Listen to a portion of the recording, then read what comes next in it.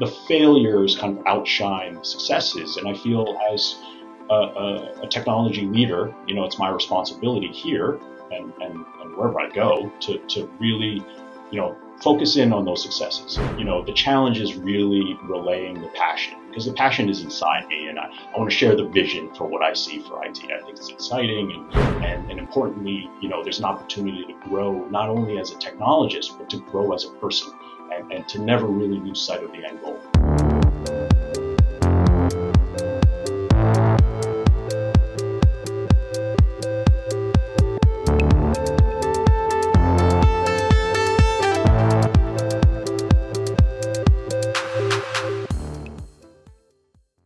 We are here with Rob De Gracia, CTO of Bregal Investments. Bregal is an international private equity firm focused on long term sustainable value creation. Rob is a hands on infrastructure technology leader with an eye for cultivating tech strategy in the financial services space. And I am thankful to have him on with us today. Rob, thanks so much for being with us. Yeah, to, to be here. Thanks for having me. So, could you just start by telling us more about Bregal, your role, and any previous experiences that led you there? Yeah, sure. I just want to say, you know, these are views that I express on my own, and they're not on behalf of Bregal. Um, like Lisa mentioned, I'm the chief technology officer at Bregal. We're a private equity firm. Um, you know, my experience, I've been in this industry for 20 plus years, so two decades, mostly in the hedge fund industry. Um, you know, most of my experience is around uh, architecting solutions, engineering solutions, uh, and really being in the weeds with a lot of the systems that you see today. Um, you know, most recently, my most recent roles have been around IT strategy, um, you know, having a seat at the table, and really providing IT direction um, for organizations, as well as managing cyber security operations and, and, and information security programs. So, Rob, candidates today, we know especially want to see that they're going to have the ability to really learn and grow in and both beyond their role.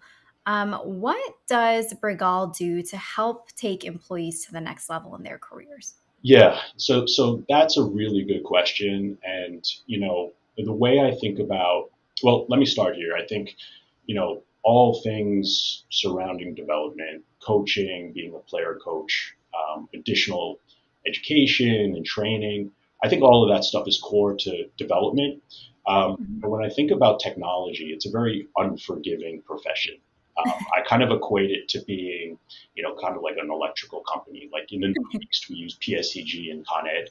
Like I never call up PSEG and say, "Hey, thank you for having my light on for seven days." Like that never happens, like 0.5% probability, so like next to nil.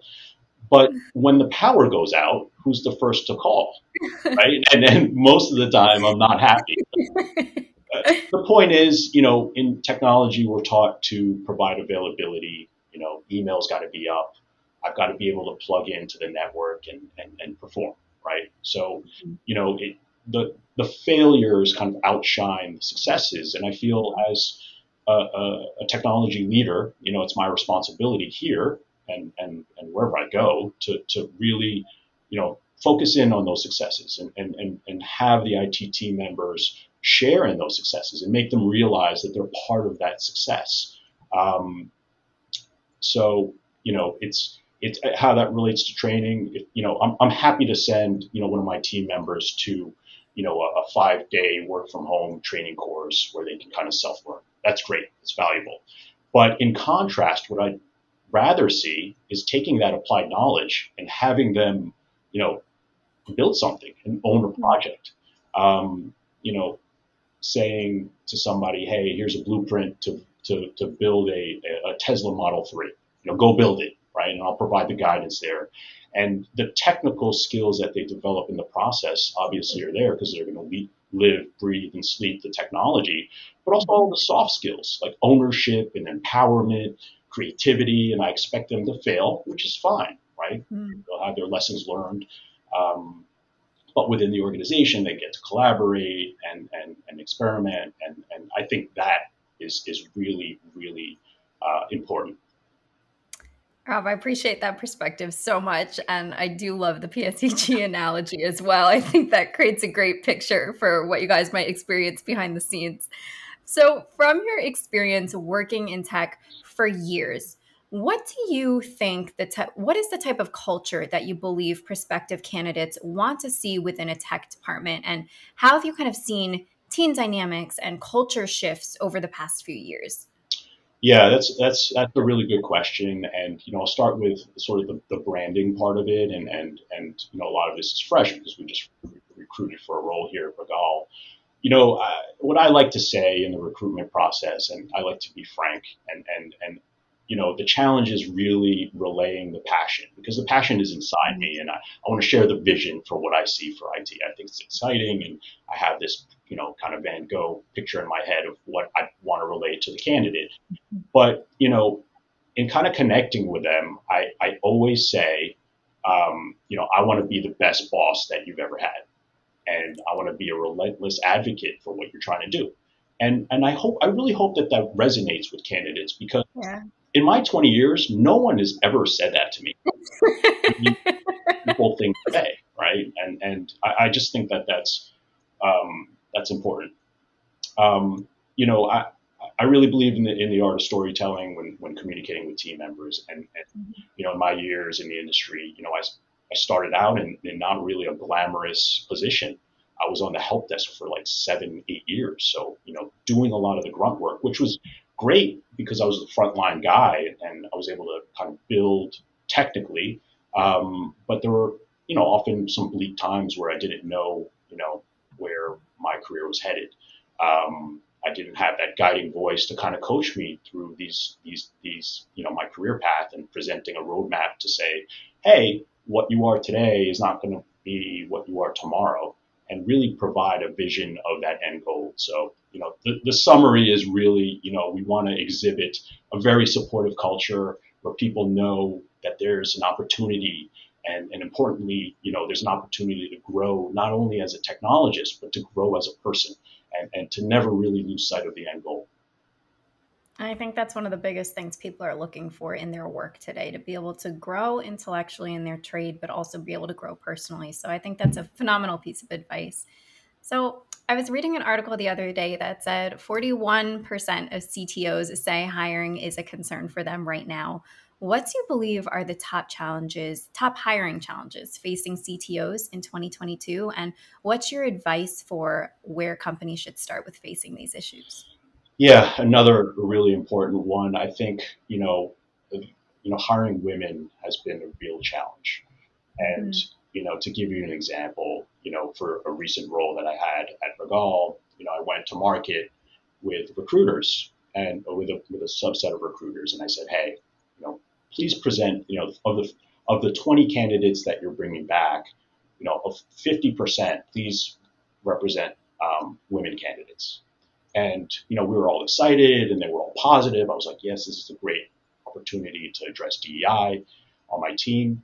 Um, guess how many they, they, they, actually came back with? Goose eggs. It, it, it, was surprising. And, and, you know, it's, it's indicative, I think, of a systemic problem that goes beyond recruiting. And, and I, I don't necessarily have those answers, but I believe that we need to have those conversations you know, I'm part of an, uh, a CTO uh, community peer network where we often have conversations around DEI, and and you know, it's a male-dominated group of technologists, right? And you know, one of the questions that we we talk about is how do we include women um, as members of our, of our group, right? But knowing that the majority of our community are, are, are men, you know, how do we comfortably ask them to contribute? And how do we you know, not kind of provide this spotlight where they're the lone spokesperson of the group. Um, I think those are those are kind of the challenges that that we face. You know, what one small note, you know, this morning on LinkedIn, um, I posted a note to my community or my network, hopefully beyond my network, and I extended um, kind of a you know an offering of sorts. So, hey, any women that are interested in you know infrastructure or cybersecurity that need uh, or want to connect on a you know mentorship or, or guidance level or just need some sort of advice um, please connect with me. So um, that's out there for, for, for anyone looking to kind of peer up. Um, you know, there's no real financial incentive for me. I just want to, you know, learn and, and, and really extend, you know, the advice that I can possibly help help out. Rob, thank you so much for shedding light on that issue. And last question for you at Solvable, we're all about what drives purpose and meaning for people at work. So I'd love to know what drives purpose and meaning for you at work. Yeah, you know, this is, it always comes down to, you know, um, waking up in the morning and, and feeling good about your day to day, but also, you know, I mentioned earlier on in our conversation about like the end goal. And the end goal for me has always been technology at the roots and how we can help people and how technology can be impactful in our lives. You know, when I think about, you know, a recent example of, you know, the, the, the pandemic, for instance, right? You know, my parents are 80, 85 years old, um, you know, some preconditions. And um, when the pandemic first started, it was just impossible to get these these uh, appointments for vaccines, for vaccination.